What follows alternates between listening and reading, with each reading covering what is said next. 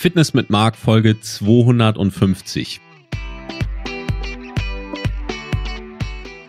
Herzlich willkommen zu Fitness mit Mark, wo sich alles darum dreht, dass du nackt gut aussiehst.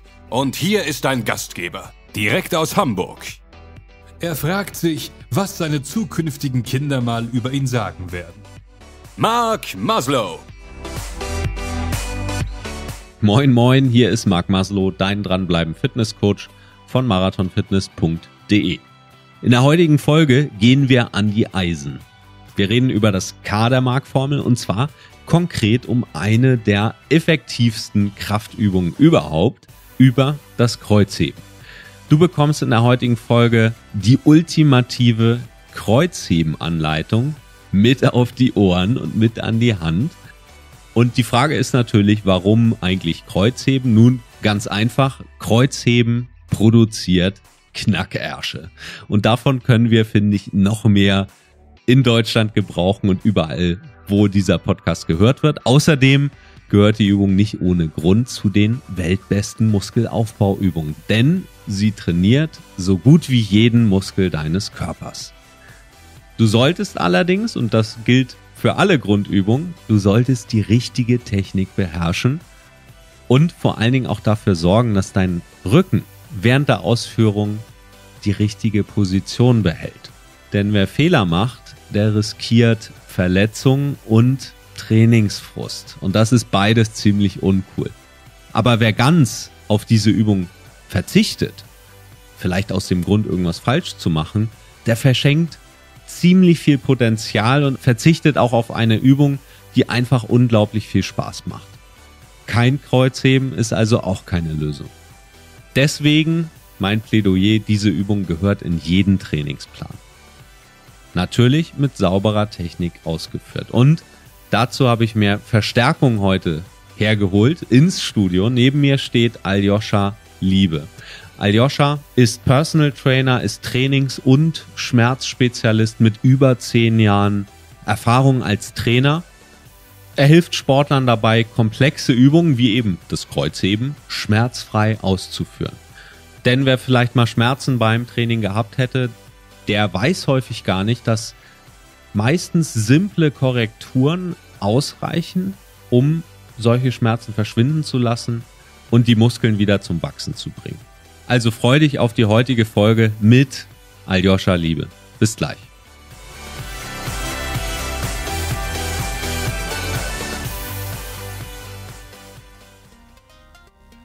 Liebst du Bücher und hast eine Liste von Büchern, die so lang ist, dass du sie niemals lesen können wirst? Dann hat Audible die perfekte Lösung für dich. Wie wär's, wenn du dir diese Bücher einfach vorlesen lässt, während du unterwegs bist? auf dem Weg zur Arbeit, beim Einkaufen oder beim Wäscheaufhängen. Die App ist kostenlos und läuft auf allen deinen Lieblingsgeräten. Und weil Audible über 150.000 Hörbücher im Programm hat, findest du auch immer etwas Neues und Interessantes, das du gerne hörst. Anders als bei Musik- oder TV-Streaming-Angeboten gehören deine Hörbücher bei Audible dir. Das heißt, du kannst sie zum Beispiel mit deinem Smartphone jederzeit und überall hören. Tja, und wenn dir mal ein Buch nicht gefällt, dann ist das kein Problem. Du kannst es jederzeit gegen ein anderes Hörbuch eintauschen, ohne Wenn und Aber. Als Fitness mit Markhörer bekommst du die Audible-Mitgliedschaft für ein halbes Jahr zum halben Preis. Geh dazu auf www.fmmbuch.de, FMM wie Fitness mit Mark und dann buch.de. Unterstütze Fitness mit Marc und geh auf www.fmmbuch.de. Dort bekommst du deine Mitgliedschaft für die ersten sechs Monate zum halben Preis 4,95 pro Monat. Ja, wie eben schon gesagt, heute geht's ums Kreuzheben und ich habe Verstärkung hier an Bord. Moin, moin, Aljoscha. Moin. Aljoscha, bevor wir ins Eingemachte gehen, hast du heute schon Kreuzheben trainiert? Nee, heute bin ich noch nicht dazu gekommen. Heute war eher so äh, Bürotag. Okay. Und steht noch was an an Training? Äh, heute nicht, aber äh, morgen äh, steht Kreuzheben auf dem Plan tatsächlich. Cool.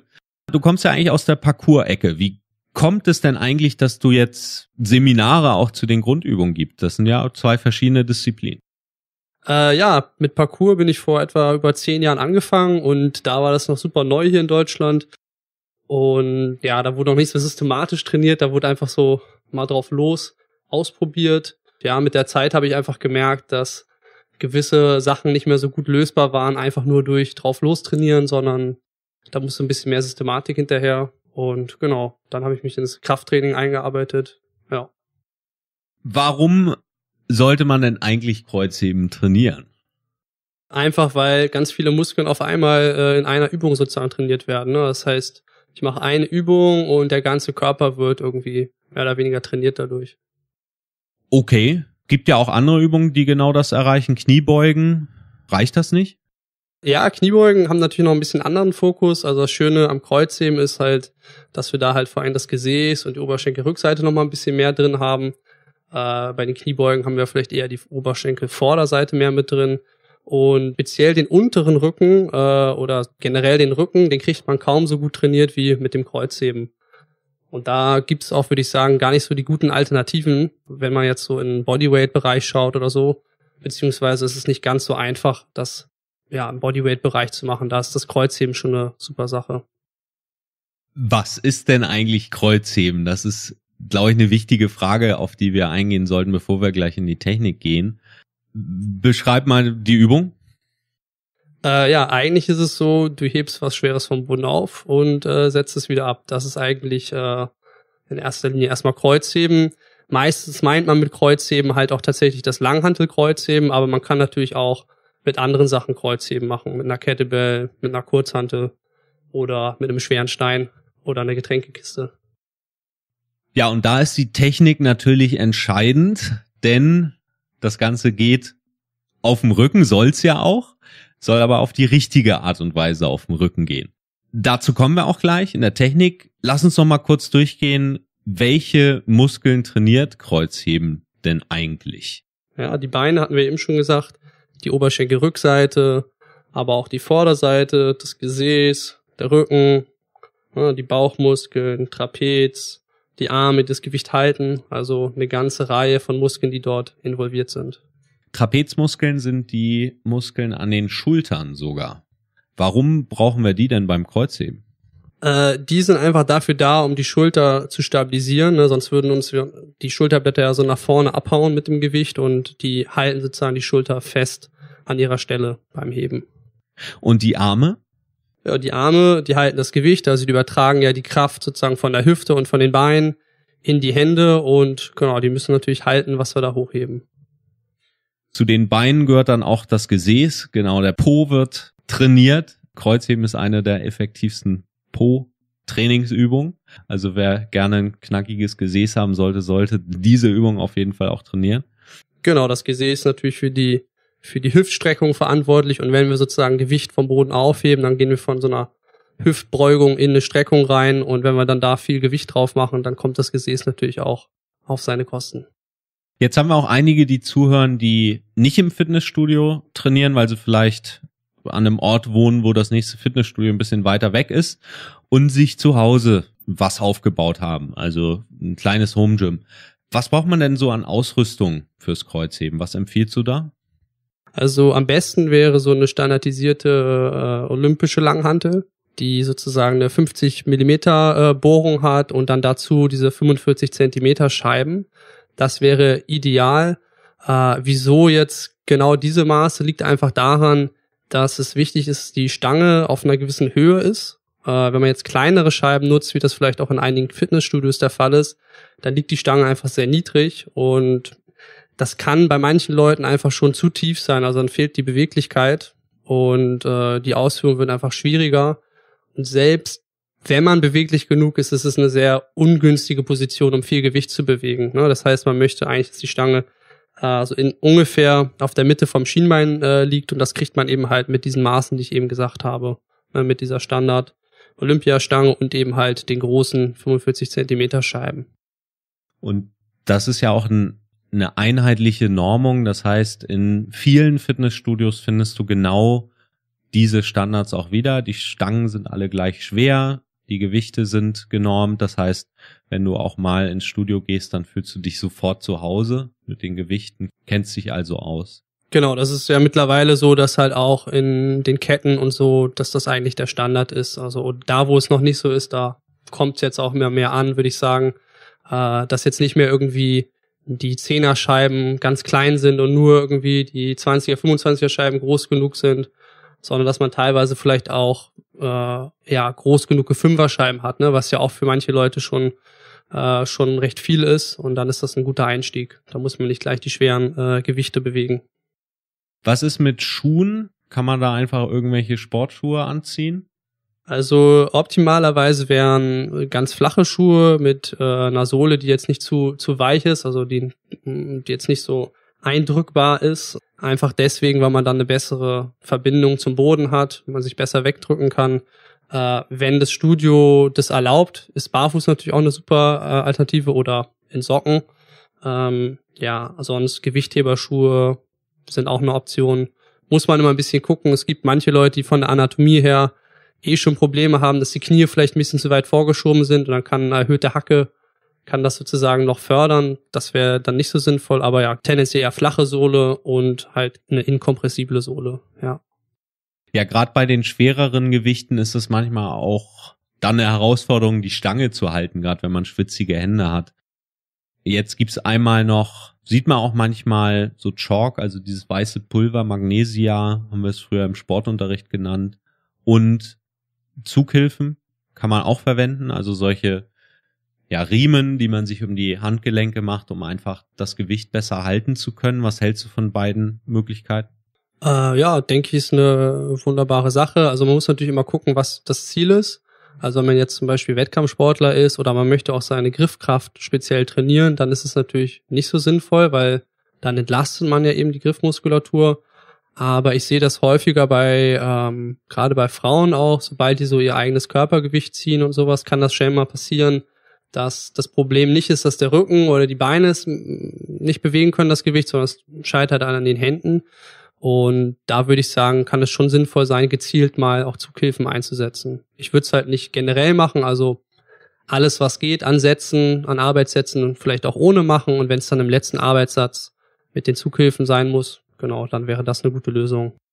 Also es sind auch meiner Meinung beides Punkte, die man sicher am Einstieg noch nicht braucht. Also wer gerade anfängt, braucht sie jetzt nicht voll ausstatten mit Gewichtheberschuhen und Chalk und Zughilfen, sondern ich glaube, ich habe bestimmt zehn Jahre ohne trainiert und dann irgendwann merkt man, dass man an so einen Punkt kommt, wo es dann unangenehm wird oder man nicht weiterkommt und dann kann man sich das dazu kaufen.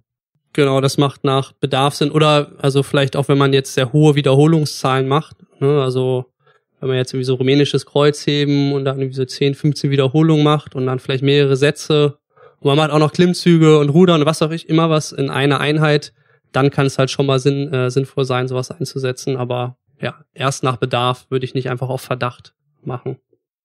Jetzt hast du schon angesprochen, rumänisches Kreuzheben, das ist eine Variante vom klassischen Kreuzheben und das ist eine gute Überleitung zur Technik, zu der würde ich ganz gerne jetzt mit dir kommen. Lass uns erstmal mit der klassischen Variante starten. Wie führt man das Kreuzheben so durch, dass man einerseits sich nicht falsch belastet und andererseits natürlich auch das Optimum rausholt aus der Übung? Äh, ja, also wichtig ist erstmal, dass man so ein bisschen diese Grundfertigkeit beim Kreuzheben versteht, dass die Bewegung halt aus der Hüfte kommt und nicht so sehr äh, aus den Knien. Also äh, tendenziell sieht man das immer wieder, dass wenn Leute das das erste Mal machen, dass die das Gewicht sozusagen aus so einer tiefen Hocke heben wollen. Und das kann man natürlich auch machen, das nennt sich dann Kniebeugen. Das ist auch eine super Übung.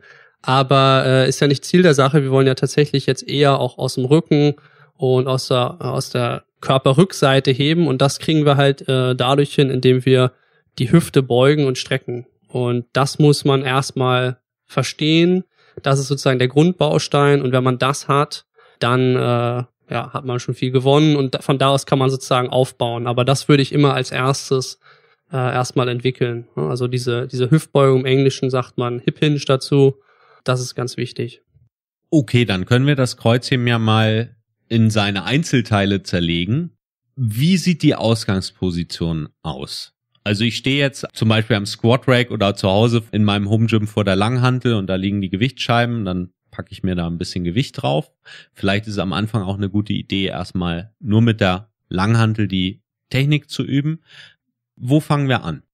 Ja, also normalerweise ist es ja so, dass man Kreuzheben vom Boden aus macht, aber wenn man es jetzt erstmal lernen möchte von der Technik her und sozusagen dieses Abklappen in der Hüfte üben möchte, dann startet man einfach mit der Stange äh, in den Händen und man steht. Der Griff ist etwa so breit, dass man leicht außerhalb der Beine ist. Und genau das wäre die Startposition. Und von da aus will man sozusagen das Gesäß nach hinten schieben und den Oberkörper nach vorne lehnen und dabei sozusagen mit der Stange am Oberschenkel runtergleiten und den Kontakt da auch richtig halten, bis man so unter der Kniescheibe oder so auf der Mitte vom Schienbein ist und dann kommt man genau den gleichen Weg wieder zurück. Und genau das wäre sozusagen der Startpunkt, den ich da wählen würde. Das ist auch das, was ich in den Seminaren häufig äh, oder immer so mache. Ne, das ist so das, was wir als erstes erstmal einüben. Jetzt gibt's ja auch andere Griffmöglichkeiten. Du hattest erwähnt, dass man halt von oben die Stange greift. Daumen zeigen dann zueinander. Heißt, glaube ich, im Sportunterricht auch Ristgriff.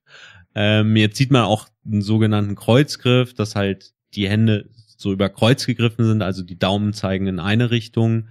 Ich habe es sogar schon mal gesehen, dass jemand von unten die Stange greift, also so, dass die Daumen nach außen zeigen. Kann man da variieren? Äh, normalerweise würde ich einfach empfehlen, diesen Griff zu nehmen, wo die Daumen zueinander zeigen.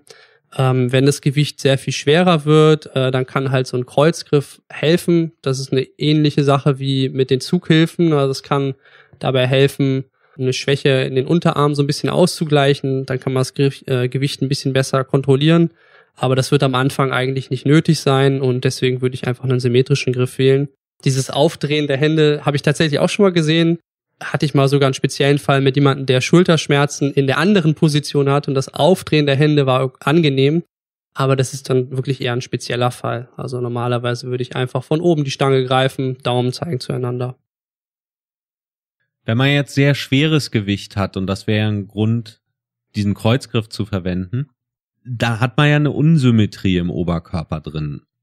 Siehst du da ein Problem, wenn das Gewicht sehr schwer wird? Oder ist das individuell unterschiedlich? Also bei dieser Art von Asymmetrie sehe ich jetzt kein äh, großes Problem. Also der Körper passt sich ja auch daran an. Ne? Das heißt, wenn ich anfange, irgendwann diesen Kreuzgriff zu benutzen und dann mich Stück für Stück steigere, dann können die Strukturen sich da auch an anpassen. Äh, das wäre vielleicht nur keine gute Idee, wenn ich jetzt irgendwie sehr, sehr intensiv trainiere und dann auf einmal umsteige und hm, der Arm oder der Bizeps in dem Fall ist jetzt nicht dran gewöhnt, das wäre keine gute Idee, aber solange man das vorsichtig einführt ins Training, ist so eine asymmetrische äh, Belastung auch kein Problem. Ne? Da kann sich der Körper auf jeden Fall anpassen. Wichtig wäre, glaube ich, da nochmal die Seiten zu wechseln, also dass man in jedem Satz einmal den Kreuzgriff durchtauscht, also die Daumen zeigen einmal zur einen Seite, einmal zur anderen dann, oder? Das wäre natürlich auch eine Möglichkeit, dann hat man diese symmetrische Belastung. Ich denke nicht, dass es in dem, in dem Fall jetzt super ausschlaggebend wäre. Nochmal zurück zur Ausgangsposition. Wir stehen jetzt mit der leeren Langhantel, die befindet sich auf Höhe unserer Oberschenkel, stehen damit. Und jetzt kommen wir zur Durchführung. Wie sieht die aus? Wir starten jetzt von oben einfach nur, um halt diese Bewegung der Hüfte zu üben. Und ja, von der Position aus, die Marc gerade beschrieben hat. Dort lehnen wir den Oberkörper nach vorne und schieben das Gesäß zurück und gleiten eben halt mit der Stange am Bein hinunter bis zur Mitte vom Schienbein und kommen dann wieder hoch. Ganz wichtig dabei, die Stange sollte das Bein dabei nicht verlassen, sondern das soll die ganze Zeit so ein Kontakt dabei sein. Und auch wichtig ist, dass wir die Bewegung tatsächlich aus der Hüfte holen und nicht den Rücken irgendwie rund machen oder überstrecken während der Bewegung. Ne? Also der bleibt ganz fest. Weitere häufige Fehlerquelle ist, dass die Knie zu weit vorgeschoben werden und dann im Weg sind, aber da können wir jetzt nochmal Stück für Stück auf die einzelnen Fehler genau eingehen. Es ist immer ganz gut, wenn man nochmal ein Bild vor Augen hat. Das können wir hier im Podcast natürlich nicht liefern. Du findest in den Show Notes ein Video von dir, Aljoscha, wo du das Ganze mal trocken vorführst, also das Kreuzheben mit der leeren Langhantel, so wie du es eben beschrieben hast. Lass uns doch mal auf die drei häufigsten Fehler eingehen, die du so beim Kreuzheben beobachtest und wie man die am besten vermeiden kann. Rundrücken ist ein häufiges Problem. Äh, während der Bewegung irgendwann sozusagen wird der Rücken halt rund, das ist nicht mehr so schön gerade, wie wir ihn haben wollen. Und ja, eine Sache, die man machen kann, ist halt Brust rausstrecken. Dadurch wird die Wirbelsäule eben halt dann gerade. Also stell dir vor, jemand steht neben dir und sagt Brust raus. Und genau, das produziert meistens schon den gewünschten Effekt, den wir haben wollen. Was wir natürlich nicht wollen, ist, dass man dann das zu stark macht und im Hohlkreuz landet. Aber wie gesagt, wenn du rund bist und man sagt das, dann landet man meistens genau dort, wo man sein möchte, so einer mehr oder weniger neutralen Position.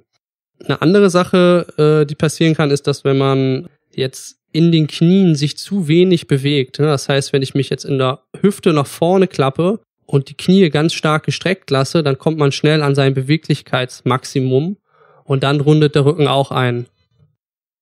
Ich glaube, ein ganz wichtiger Punkt ist auch nochmal rückenneutral. Also wenn man dich von der Seite beobachtet, während du das Kreuzheben durchführst, verändert sich die Haltung deines Rückens in sich nicht. Also es ist genau wie wenn du aufrecht stehst, nur dass du halt an der Hüfte dich nach vorne beugst. Was kann man noch falsch machen? Genau, was man noch falsch machen kann, ist, dass wenn man die Knie zu gestreckt lässt, beim sich sozusagen nach vorne lehnen, also man auf dem Weg nach unten ist, dann zeugt das ganz viel Spannung auf der Oberschenkelrückseite und wenn man dann nicht beweglich genug ist, dann kippt so das Becken ab und der Unterrücken wird auch rund. Ne? Und was man dann einfach machen kann, ist, dass man eben halt die Knie nicht ganz so stark gestreckt lässt, sondern sich ein bisschen tiefer sozusagen reinsetzt und die Knie ein bisschen nach vorne schiebt. Und das ist die, die andere Fehlerquelle, die man sozusagen haben kann, ne, dass man sich zu sehr nach vorne lehnt und die Knie zu gestreckt bleiben beim Kreuzheben. Dann würde der Rücken in der unteren Hälfte der Bewegung rund werden. Eine gute Idee ist auch, sich mal selbst zu filmen von der Seite oder vom Trainingspartner filmen zu lassen beim Kreuzheben und dann auch diese Punkte mal durchzugehen. Du findest das ja auch alles in den Shownotes auf marathonfitness.de-podcast und dann zur heutigen Folge übers Kreuzheben verlinke ich dir auch in deiner App, wenn du das Ganze über Apple Podcasts hörst oder über Spotify oder eine andere Podcast-App, dann klickst du da einfach auf den Link und kannst dir das auch nochmal zu Gemüte führen dann. Es gibt noch einen dritten Fehler, den du häufig beobachtest. Äh, ja, also dass wenn man sozusagen zu tief geht mit der Stange, dann äh, kommt man halt eben auch an, an sein Beweglichkeitsmaximum teilweise und dann äh, ist die Beweglichkeit in der Hüfte halt aufgebraucht und man fängt an, auch im Rücken rund zu werden. Also dann einfach nicht so tief gehen und mit der Zeit wird sich halt einfach dadurch, dass man die Bewegung öfter macht, die Beweglichkeit verbessern. Kreuzheben ist also auch eine gute Übung, um beweglicher zu werden. Äh, ja, tatsächlich. Also Leute, die Kreuzheben äh, machen, sind in dieser Vorbeuge tatsächlich beweglicher als äh, Normalbürger. Gibt es sogar, glaube ich, eine Studie irgendwo zu. Du hattest eben schon angesprochen, Hohlkreuz ist auch eine Fehlerquelle, dass man also nicht im Rücken rund wird in die Richtung, dass man Buckel kriegt oder so, sondern in die andere Richtung. Genau, dass man in so eine Überstreckung geht. Das kommt häufig daher, dass Leute, die eigentlich schon recht beweglich sind oder recht aufrecht stehen, so Anweisungen lesen, die ich eben gesagt habe, wie dieses Brust rausstrecken und es dann einfach übertreiben. Das heißt, die stehen eigentlich schon genau richtig, die stehen gerade, der Rücken ist in einer guten Position. Und wenn man dann noch die Brust rausstreckt, dann landet man sozusagen im Hohlkreuz. Und äh, das wollen wir vermeiden, einfach deswegen, weil dadurch der Rücken sehr viel härter arbeiten muss und ja, dadurch auch einfach nicht so eine stabile äh, Haltung gegeben ist. Das heißt, in dem Fall, wenn das das Problem ist, dann äh, wollen wir ein bisschen mehr Spannung in den Bauch reinbringen. Das wäre die eine Möglichkeit, also dass man sich vorstellt, ich spanne den Bauch an und bringe sozusagen den Rippenbogen so ein bisschen runter, als würde ich einen Schlag in die, äh, in die Magengrube erwarten. Also da so die Spannung reinbringen. Oder halt auch einfach, dass man den Rücken etwas entspannter lässt. Ne? Also dass man sich nicht vorstellt, oh, ich muss mich so krass aufrichten, sondern einfach erstmal den Rücken bisschen lockerer lassen.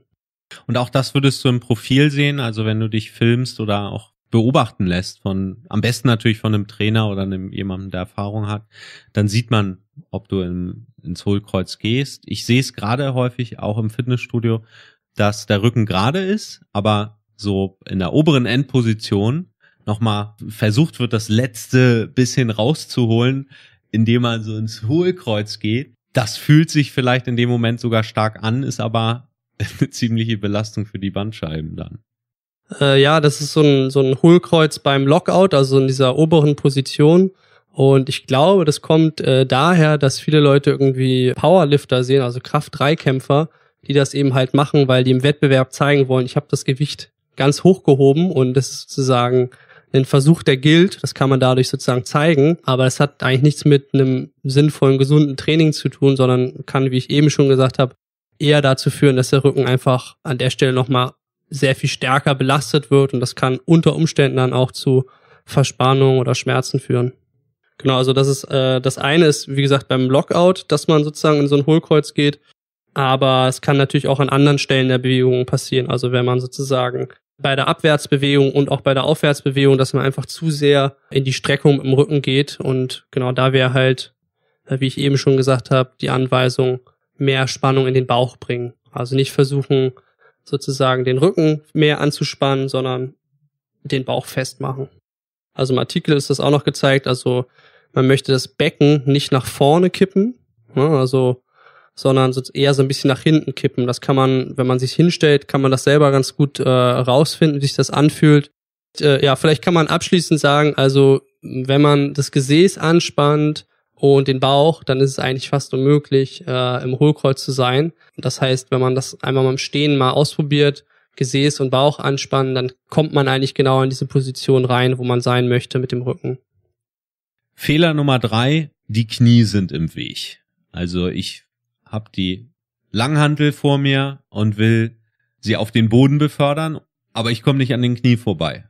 Was mache ich da? Genau, also das lässt sich in zwei Teile aufteilen. Also erstmal ist es so, dass ich bei der Abwärtsbewegung das Problem haben kann, dass die Knie im Weg sind. Das passiert einfach dadurch, dass ich äh, zu viel die Knie am Anfang vorschiebe. Ne? Also das heißt, wenn ich das Gewicht wieder nach unten befördere, dann sollte die Bewegung in der Hüfte anfangen. Das heißt, ich schiebe erst den Po nach hinten raus und dann fange ich an, langsam die Knie zu beugen. Wenn ich aber anfange, die Knie am Anfang ganz stark vorzuschieben und ich mich dann mit, dem, mit der Stange nach unten bewege, dann sind die irgendwann im Weg. Ich muss darum so einen kleinen Bogen machen. Und dann wird die Belastung im Rücken natürlich sehr viel höher, weil der Hebel auf einmal ganz stark ist. Das Gewicht geht sozusagen vom Körperschwerpunkt weg. Das heißt, die Lösung da ist, Po mehr nach hinten schieben, Knie nicht so weit beugen am Anfang und dann klappt das bei der Abwärtsbewegung und das gleiche ist, wenn ich sozusagen von unten äh, starte, dann möchte ich auch, dass die Schienbeine relativ vertikal sind, also gerade nach oben zeigen. Wenn ich von der Seite raufschaue, dann sollten die nicht zu stark vorgelehnt sein, die Schienbeine, ne, sondern relativ vertikal. Aber sonst habe ich da auch wieder das Problem, dass ich anfange zu ziehen und irgendwann kommt die Stange Richtung Kniehöhe und ich bleibe am Knie hängen. Das lässt sich alles wunderbar mit einem Besenstiel üben oder mit einer leeren Langhantel. Jetzt sind wir die grundsätzliche Kreuzhebenbewegung mal durchgegangen. Als nächstes arbeiten wir mit Gewicht und dann starten wir am Boden. Ja, genau. Also das heißt, wir haben jetzt erstmal mit der leeren Langhantel geübt, wie man sozusagen die Bewegung aus der Hüfte halt herausholt, wie die Knie sich so zu bewegen haben und wie man den äh, Rücken schön stabil hält. Und äh, sobald das sitzt, kann man sich Gewichtsscheiben nehmen. Also wenn man jetzt ein Mann ist, dann kann man eigentlich normalerweise schon mit 10 Kilo auf jeder Seite starten. Das sollte kein Problem sein. Für Frauen ist vielleicht manchmal 5 Kilo äh, pro Seite ein bisschen besser. Oder wenn man jetzt, weiß ich nicht, irgendwie ganz so fit ist oder sich auch einfach ein bisschen unsicher ist, dann gerne auch einfach die Fünfer-Scheiben nehmen. Wichtig, wir sprechen hier jetzt von Scheiben, die wieder diese 45 Zentimeter Durchmesser haben, ne, damit die Stange auf der richtigen Höhe landet. Genau. Ja, und wenn wir das haben, dann treten wir von da an die Stange heran, ungefähr äh, hüftbreit, schulterbreiter Stand und greifen dann dort die Stange, so wie sie es eben auch gegriffen haben und gucken, dass die Schienbeine, wie gesagt, etwa vertikal sind. Also man kann sich so merken, dass das Knie etwa so auf der Höhe von dem Fußgelenk ist, also direkt über dem Fußgelenk oder über der Schleife vom, vom Schuh und von da fangen wir dann an zu ziehen. Auch hier findest du wieder ein Video in den Show Notes. Wichtig nochmal vor Aufwärmen. Immer vom Kreuzheben, gerade wenn du mit, mit schwerem Gewicht trainierst, solltest du aufgewärmt sein. Also bisschen Cardio, dann halt mit einer leeren Stange oder mit wenig Gewicht aufwärmen. Du stehst also vor der Stange, greifst die Stange und ziehst nach oben. Wie geht's weiter? Wenn wir oben sind, haben wir das Gesäß angespannt, haben uns komplett aufgerichtet und von dort äh, das Gesäß wieder nach hinten rausschieben, den Oberkörper nach vorne lehnen und am Bein runtergleiten, möglichst nicht den Kontakt verlieren, bis das Gewicht wieder ganz am Boden ruht. Kreuzheben ist auf jeden Fall eine ganz natürliche Bewegung, eine funktionelle Bewegung. Wir nehmen das hier im Detail auseinander, einfach damit du das für dich auch nochmal Schritt für Schritt durchgehen kannst. Und es ist eine simple Übung. Also sie ist technisch auch nicht so anspruchsvoll wie zum Beispiel das Kniebeugen. Deswegen keine Angst.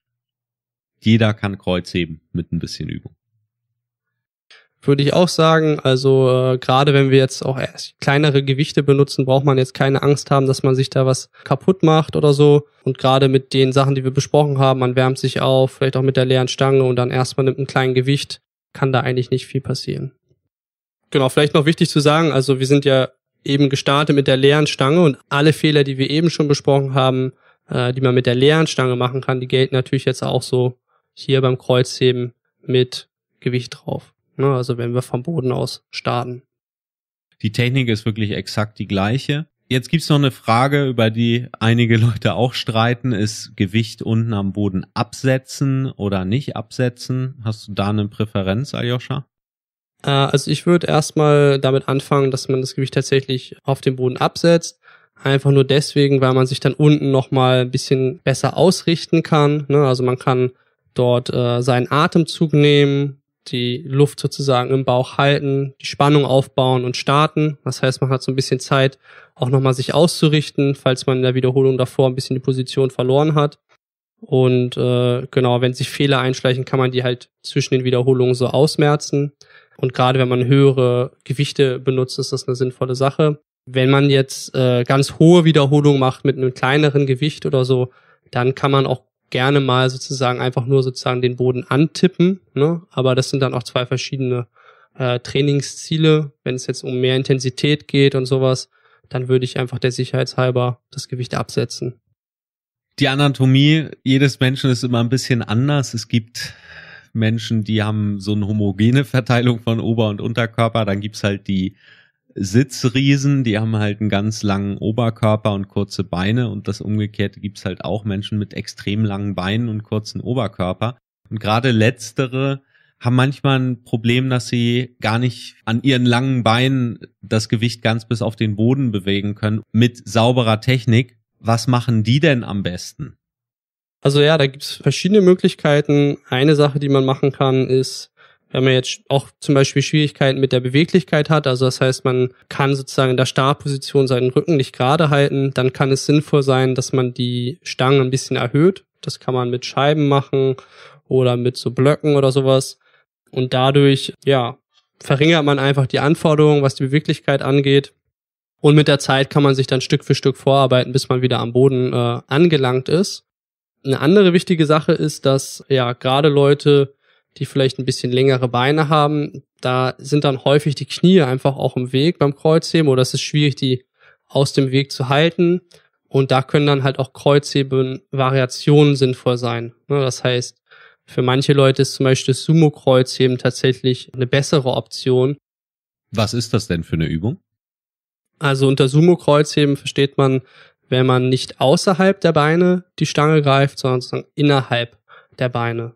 Das heißt, man hat so einen sehr viel breiteren Stand und zwischen den Beinen greift man dann die Stange und dann sieht die Bewegung auch ein bisschen anders aus. Der Oberkörper ist normalerweise dann sehr viel aufrechter. Man hebt auch ein bisschen mehr dann tatsächlich aus den Beinen und sowas. Also die belasteten Muskeln verändern sich ein Stück weit. Und das kann halt eben sehr sinnvoll sein für einige Leute, die einfach Schwierigkeiten haben, das konventionelle Kreuzheben auszuführen. Und da würde ich halt auch wirklich empfehlen, ähm, das mal auszuprobieren, wenn man da Schwierigkeiten hat, weil ich sehe das häufiger, dass Leute irgendwie bei uns auch im Seminar kommen und sich abmühen, schon seit langer Zeit mit dem Kreuzheben. Und dann fragt man, hey, hast du mal Sumo-Kreuzheben ausprobiert? Ne, und das sind da meistens so relativ groß gewachsene äh, Menschen mit langen Beinen. Und dann machen die Sumo-Kreuzheben und sagen die, ah, das fühlt sich viel besser an, viel natürlicher für mich. Oder auch so Sachen wie, ich kann direkt mehr Gewicht bewegen oder es geht nicht mehr so stark auf dem Rücken. Ne? Also manchmal, wenn man, wie gesagt, äh, halt ein bisschen größer ist oder nicht so eine passende Anatomie hat, dann ist man halt sehr, sehr vorgelehnt beim Kreuzheben und dann geht halt einfach sehr viel Last in den Rücken. Da kann man natürlich auch sagen, ja, ist ja super. Der Rücken soll ja auch trainiert werden, aber es kann eben halt auch ja zum limitierenden Faktor werden, wo man dann einfach merkt, ich komme nicht weiter, weil mir der Rücken wehtut oder weil einfach zu viel Last in den Rücken reingeht. Ne, und da kann Sumo-Kreuzheben und es gibt auch so modifiziertes Sumo-Kreuzheben, ist sogar noch ein bisschen engerer Stand als beim normalen Sumo-Kreuzheben, sehr, sehr hilfreich sein. Ich will zum Abschluss nochmal auf die andere Variante kommen, die du auch eingangs erwähnt hattest, das rumänische Kreuzheben. Inwiefern unterscheidet sich das denn vom klassischen Kreuzheben, das wir eben beschrieben haben? Also rumänisches Kreuzheben unterscheidet in sich, inso, sich insofern, dass man eben halt äh, aus dem Stehen startet und nicht vom Boden und die Knie etwas gestreckter lässt noch als beim normalen Kreuzheben. Dadurch äh, haben wir noch weniger Oberschenkelvorderseite drin und eben halt mehr Oberschenkelrückseite, Gesäß und unterer Rücken. Sehr beliebt bei Frauen, eben halt, weil eher sozusagen das Gesäß, die Oberschenkelrückseite trainiert werden und nicht so der äh, der Quadrizeps, also der der die Vorderseite vom Bein, was vielleicht auch manchmal gar nicht der Wunsch ist, dass man da noch mehr Muskeln aufbaut. Also trainiert noch mehr die Rückseite mhm. Äh, vom vom Gesäß bis zu den Knien. Geht man da auch ganz auf den Boden runter? Äh, also theoretisch, wenn man die Beweglichkeit hätte, schon, aber bei den meisten Leuten ist sozusagen, wenn man die Knie recht gestreckt lässt, ist eigentlich so unter den Kniescheiben relativ schnell Schluss. Ne? Das heißt, wenn man dann versucht weiter zu gehen, dann kommt die Bewegung nicht mehr aus der Hüfte, sondern der Rücken wird rund und das ist halt nicht das, was wir wollen, weil wir dann einfach äh, sprunghaft eine höhere Belastung im Rücken haben, was eben halt ja zu Problemen führen könnte. Also da wäre es auch völlig okay, wenn man den Umkehrpunkt kurz unter den Knien hat.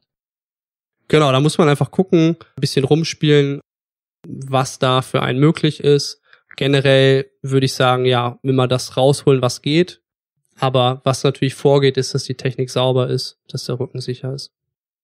Es gibt noch ein paar weitere Varianten, aber das sind, glaube ich, die drei häufigsten, die wir jetzt besprochen haben. Also das klassische Kreuzheben, das, was wir mit Detail besprochen haben, was du auch in den Shownotes nochmal an Videos und auch im Text nochmal detaillierter nachlesen kannst und dir anschauen kannst. Dann hatten wir das Sumo-Kreuzheben und das rumänische Kreuzheben. Was gibt's noch für Varianten? Fällt mir gerade ein Deficit, also Defizit-Kreuzheben, wo man tatsächlich mit der Stange noch tiefer geht, indem man sich selbst auf den Podest draufstellt wäre eine Variante. Dazu muss man sehr beweglich sein. Und das zweite wäre wirklich mit durchgestreckten Knien Kreuzheben zu trainieren. Das wäre das klassische Kreuzheben mit durchgestreckten Knien. Stiff-Legged Deadlift wird das auch genannt. Auch da muss man entsprechend beweglich sein. Das ist jeweils ein bisschen ein anderer Schwerpunkt von der muskulären Belastung her und wäre eine Alternative für Leute, die viel Kreuzheben trainieren. Hast du da noch Ergänzung zu? Äh, ja, eine Sache noch, das hatten wir eben schon erwähnt, dass man das Gewicht halt erhöht. Ne? Also Rack Pull sozusagen ähm, oder dass es sozusagen unter das Gewicht ein bisschen was legt, damit man nicht so tief starten muss. Und das kann eben halt gerade auch vielleicht für Leute, die ein bisschen älter sind und Schwierigkeiten haben mit der Beweglichkeit sinnvoll sein. Äh, aber es kann halt auch eine gute Option sein, wenn man vielleicht Schmerzen hat in der untersten Position und dann nimmt man einfach ein bisschen was aus der Bewegung raus, schneidet sozusagen ein letztes Stückchen ab und da ist es vielleicht schmerzfrei und dann kann man die Bewegung gut ausführen. Und das ist auch so eine Sache, die ich immer wieder sehe, ähm, dass Leute sozusagen dieses Ideal, das Kreuzheben im Kopf haben und vielleicht aus irgendwelchen Gründen das ja aber gerade nicht machen können, weil vielleicht eine Verletzung da ist oder das irgendwie schmerzhaft ist oder sowas oder Beweglichkeit fehlt und da würde ich immer empfehlen, nicht scheu sein, dann halt die Bewegung ein bisschen kleiner zu machen oder ein bisschen abzuändern ne, oder eine andere Variation auszuprobieren, weil äh, es ist immer besser, die Bewegung halt überhaupt zu machen, als es halt ganz wegzulassen.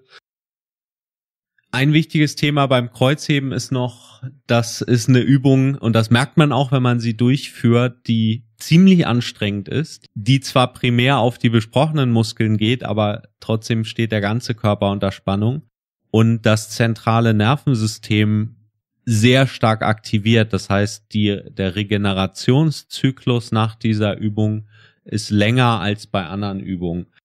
Hast du da eine Faustregel, Ayosha, die du empfehlen kannst? Wie häufig sollte man Kreuzheben die Woche trainieren oder nicht häufiger als? Uh, das ist eine sehr schwierige Frage. Also wenn man jetzt ein Anfänger ist, dann kann man auch ruhig mal ein, zweimal die Woche äh, schweres Kreuzheben machen. Das wird sicherlich kein Problem sein. Je fortgeschrittener man ist, desto heftigere Reize kann man ja setzen. Ne? Das heißt, man wird sicherer mit der Technik und man kann den Körper sozusagen ans Äußere bringen. Und dann kann es halt auch schon mal sein, dass man das ein Tag Pause, zwei Tag Pause nicht reichen, dass man vielleicht auch tatsächlich ein paar Tage länger Pause machen muss. Ne? Und das hängt natürlich dann auch davon ab, wie viel man so isst, was man sonst so macht, wie der Schlaf und so ist. Also da eine Pauschalantwort zu geben wäre jetzt schwierig. Ich würde einfach gucken, wenn man sozusagen Kreuzheben gemacht hat und dann macht man seine Pause und beim nächsten Mal, wo man beim Training ist, merkt man noch irgendwie alles äh, ist so ein bisschen steif und man hat gar keine richtige Lust zu trainieren, dann wäre vielleicht schon der Moment ein bisschen zu früh, wieder mit dem Training einzusteigen. Also ich kenne viele Leute, die einmal die Woche schweres Kreuzheben trainieren, damit sehr gut fahren und auch tolle Fortschritte machen. Also da braucht man sich keine Sorgen machen, dass das zu wenig ist, gerade wenn man schon ein bisschen länger trainiert. Meiner Erfahrung nach. Genau, das deckt sich ja mit dem, was ich eben gesagt habe. Je fortgeschrittener man ist, desto mehr kann man sich da ja auch sozusagen äh, herausfordern und dann würde ich da auch die minimale effektive Dosis fahren und das ist tatsächlich für einige Leute auch dann vielleicht nur einmal die Woche.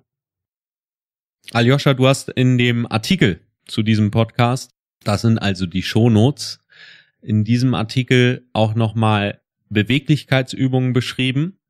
Falls du an deiner Beweglichkeit also arbeiten möchtest und denkst, Mensch, da geht noch was, dann findest du zwei effektive Übungen von Aljoscha in den Shownotes und du siehst auch, wie du deine Fortschritte ganz gut messen kannst. Wir haben über Facebook noch ein paar Fragen gekriegt zum Thema Kreuzheben von Dranbleibern, von Zuhörern von Fitness mit Mark. Eva fragt, ich wüsste gerne, wie viel ich die Beine einsetzen soll und wie viel die Hüfte, also aus welchem Bereich sollte der stärkste Impuls kommen. Und sie spürt nach dem Kreuzheben ihren unteren Rücken, hat dann auch leichten Muskelkater dort und die Oberschenkelrückseiten. Ist das denn richtig so?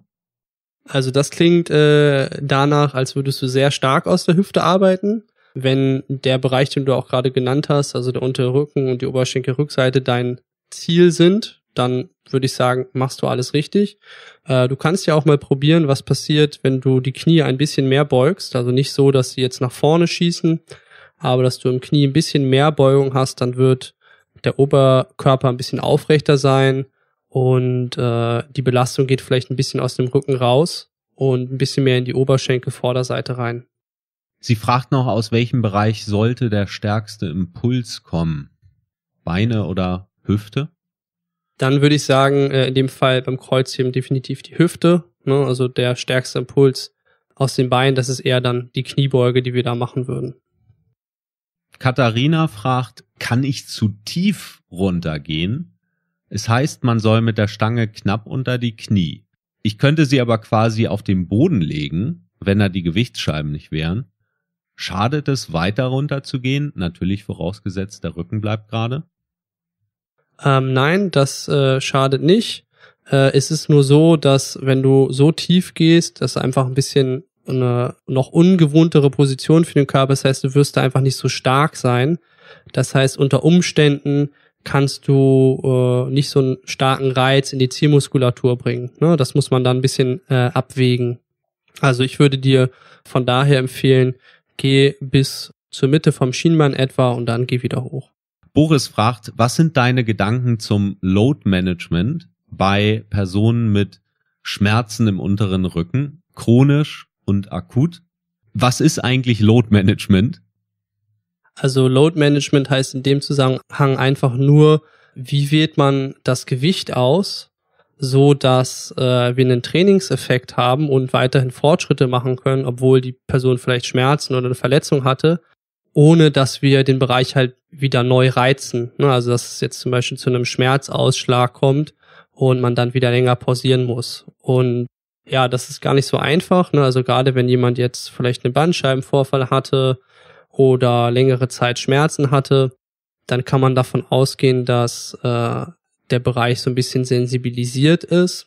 Und äh, da ist es dann ganz wichtig, ja, lieber erstmal ein bisschen tiefer einzusteigen und auch darauf zu hören, äh, was sich sicher anfühlt. Ne? Also ein Gewicht zu wählen, wo man sich mit sicher fühlt und wichtig halt auch, wo man nach dem Training oder am nächsten Tag jetzt nicht so einen Schmerzausschlag bemerkt, sondern wo man merkt, okay, vielleicht der Bereich wurde belastet, ne?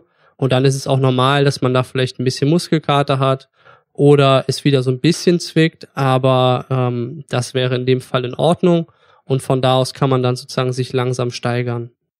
Wir können also zusammenfassen, Kreuzheben macht einen Knackarsch und diese Übung gehört auch zur Riege der besten äh, im Sinne von der effektivsten Übung, wenn du sichtbare Veränderungen an deinem Körper bewirken willst. Und Kreuzheben kann natürlich noch viel mehr. Es ist ein ganz natürliches Bewegungsmuster. Es ist eine funktionelle Übung, Bewegung, die du im Alltag auch brauchst. Man denke dann nur an die oft zitierte Getränkekiste oder die Umzugskiste, die du möglichst elegant von A nach B tragen möchtest und bequem. Kreuzheben ist überhaupt kein Hexenwerk, wenn du die Technik beherrschst und dabei solltest du den Karren nicht vor das Pferd spannen, denn wenn du beim Kreuzheben möglichst schnell Fortschritte machen willst und möglichst schnell stark werden willst, dann solltest du langsam anfangen. Es zahlt sich später aus, wenn du anfängst, dir wirklich ein bisschen Zeit nimmst, um die korrekte Technik erstmal mit der leeren Handelstange überhaupt zu erlernen und sauber durchzuführen. Und genau das hat Aljoscha ja wunderbar am Anfang der heutigen Folge beschrieben.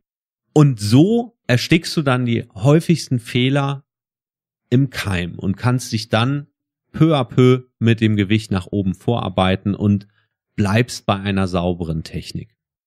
Fakt ist also, wenn du das Kreuzheben erstmal richtig und sauber lernst, dann hast du ein Tool in deiner Übungstoolbox für dein ganzes Leben, das deinen gesamten Körper auf einen Schlag stärken kann. Ayosha, vielen Dank, dass du dir die Zeit genommen hast. Du bist Personal Trainer, du hilfst also Menschen hier in Hamburg vor Ort einerseits ihre Technik zu verbessern, aber natürlich auch ihre Trainingsziele zu erreichen, neben deiner Tätigkeit als Parcours-Trainer und Trainer-Ausbilder bald auch. Du gibst aber auch Seminare. Für wen sind solche Seminare denn überhaupt geeignet? Äh, ja, also so ein äh, Seminar lohnt sich vor allen Dingen für Leute, die ihre Technik verbessern äh, lassen wollen und die einfach nochmal einen Profi haben wollen, der vor Ort äh, draufschaut, ob alles richtig gemacht wird, um einfach mal sicher zu sein, ob das so passt mit der Ausführung. Ne? Häufig ist da ja sehr viel Unsicherheit. Und es ist auch sinnvoll, wenn man zum Beispiel Schmerzen bei den Übungen hat und da Hilfe benötigt, um das irgendwie wegzubekommen. Bei den Seminaren hilfst du Menschen aber nicht nur im Kreuzheben, sondern ihr macht da die gesamten Grundübungen, richtig? Korrekt, genau. Wir machen da Kniebeugen mit der Langhantel, wir machen Kreuzheben, über Kopfdrücken, Rudern, und auch noch so Übungen wie Klimmzüge und ein paar andere Sachen. Also sozusagen die grundlegenden Übungen, die man so braucht für ein effektives Training, gehen wir da durch. Also falls so ein Seminar interessant sein sollte, den Link packe ich auch in die Shownotes rein. Dort findest du die und da kannst du auch mit Aljoscha gerne Kontakt aufnehmen, wenn du Interesse hast. Nicht wundern, äh, ich mache die Seminare zusammen mit meinem Kollegen Dr. Dominik Dotzauer und die ganzen Infos zum Seminar findet ihr auf seiner Seite. Vielen Dank nochmal, Ayosha. Ja, danke dir.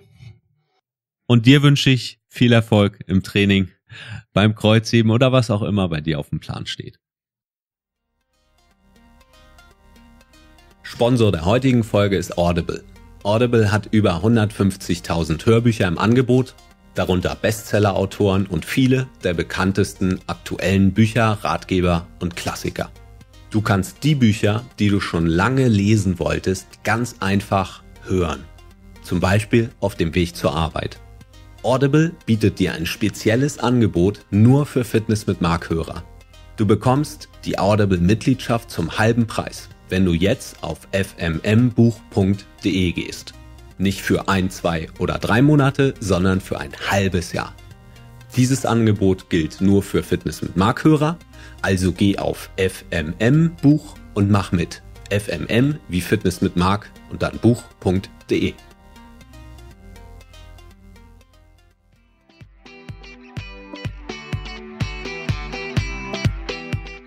Cool, dass du bis jetzt dran geblieben bist. Falls du Feedback hast zu dieser Show oder Vorschläge für Interviewpartner, die ich in einer der nächsten Folgen interviewen sollte, schick mir eine Mail an podcast@marathonfitness.de.